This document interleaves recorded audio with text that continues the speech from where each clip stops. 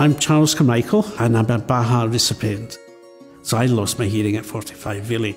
The digital hearing aids really weren't loud enough. People used to love meetings with me because I, I'd like to be with people. And as I was starting to lose my sound, I was absolutely terrified somebody asked me to do something. So you find ways of trying to compensate, but your confidence went, at least mine didn't.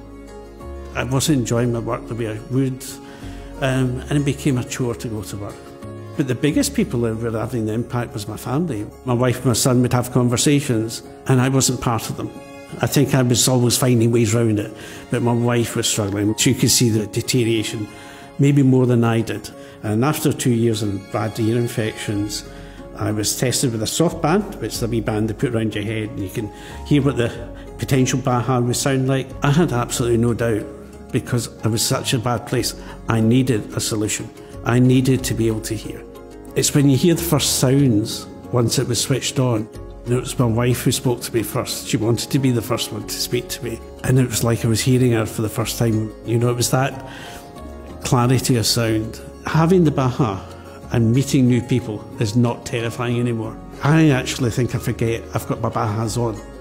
I think I hear just like I used to hear. My only regret is I didn't do it earlier. My wife would tell me I should have had it 10 years before. It's just like day and night. Having the Baha just changed my world.